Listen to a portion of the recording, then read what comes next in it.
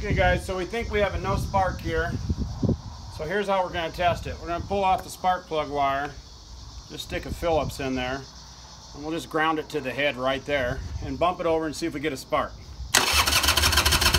No spark. So the next thing we wanna do is test the coil. Now there's some numbers here you wanna remember. Three, five, and 10. Or no, yeah, three, five, and 10.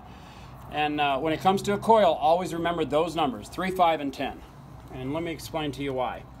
So the first thing we're going to do, we don't need the key on for this test because we're just going to test ohms across the coil.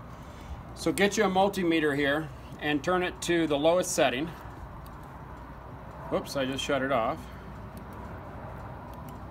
All right, and so you're not reading any ohms. And now what we want to do is we want to test the two leads. We have a power lead and we have a trigger lead on the coil. Doesn't matter which way you do this. Touch both of them and you want to be between 3 and 5. Remember our numbers, 3, 5, and 10. And we're actually low, so it's probably a bad coil. But there's another test now, and that's where the 10 comes in. We need to be between 3 and 5. The other test is, pull off your spark plug wire. If I can get it off. Touch either one of those, the trigger or the power, it doesn't matter. Stick your multimeter inside the spark plug. And now we're going to test ohms here. We want to turn this, turn it to your next setting. This one is going to be 2000. This is where the 10 comes in. We want to read 10,000 ohms or more. And so we're going to touch this on the power side. It doesn't matter whether you do power or trigger. And stick the other one inside the spark plug hole and take a look.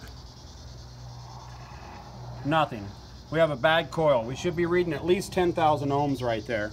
So trigger, to power should be 3 to 5 ohms and a spark plug wire that goes to the spark plug from power or trigger should read 10,000 ohms. So we have a bad coil.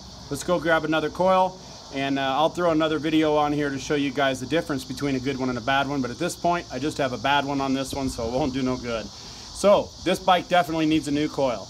I hope this helps you out. Please click like, please click subscribe. Click on my name underneath this video for all my other how-to videos. And as always, guys, enjoy.